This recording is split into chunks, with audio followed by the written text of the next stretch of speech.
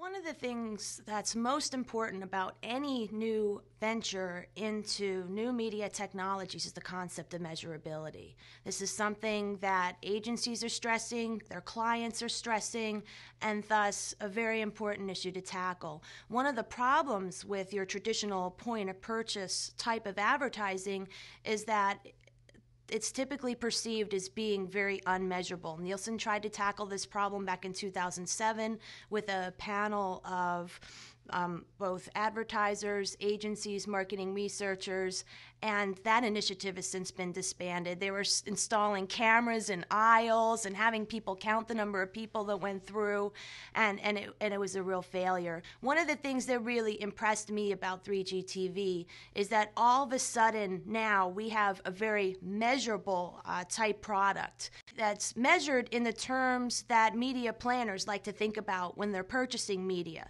They want to think about what is our reach of this technology? What is the frequency with which customers are being exposed uh, to particular messages? This is stuff that is very easily tracked through the 3G TV technology.